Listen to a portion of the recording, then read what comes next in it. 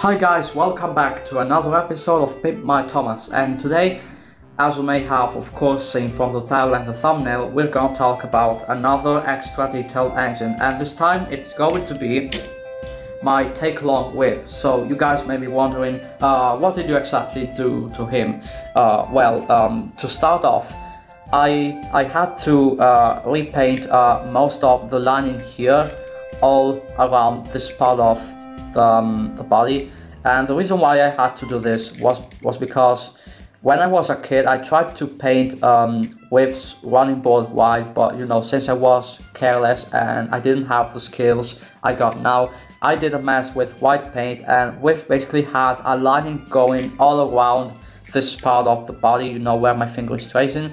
So I tried to rub it off with some alcohol, but then um, uh, most of the lining here also came off so I had to repaint it with some um, golden Uni-Posca Posca marker and um, and a pen you know. I decided to use a pen instead of a brush or stuff like that so that I could get a slightly better result you know. And even though it's not 100% precise you know I can still deal with this. I mean it looks pretty decent okay so I also uh, repainted uh, this part of the cab and gave him um, new, uh, better, more uh, circular looking uh, windows. You know, um, they look uh, they look pretty pretty good actually, much better than than what he had before.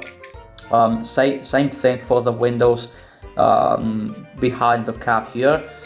I also fixed a little bit of paint chips here some paint chips on the on the edges of the cab here okay? And same thing for some paint chips on the cold bunker as well. Um, I repainted um, his glasses because the paint um, had chipped away a little bit. And um, I also uh, repainted uh, the running board this time with a more proper color gray and this gray is actually um, a darker gray compared to um, the, the gray that I used to paint uh, the running boards of my engines.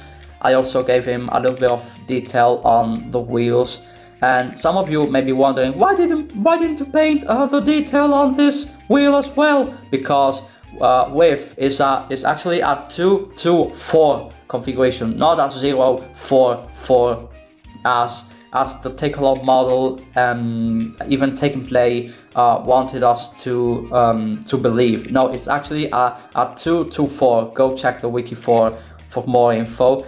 And um, last but not least, I removed this piece, which was actually um, a piece that filled all this part here inside the cab. So uh, this part here, you can see that it filled uh, the gap and this was a thing that uh, some um, take, a, take along engines like Whiff Billy, Stepney and Mighty Mac had. I don't know why, it's pretty much useless so I took it off from my wave because I wanted the cab to be completely hollow like this, okay?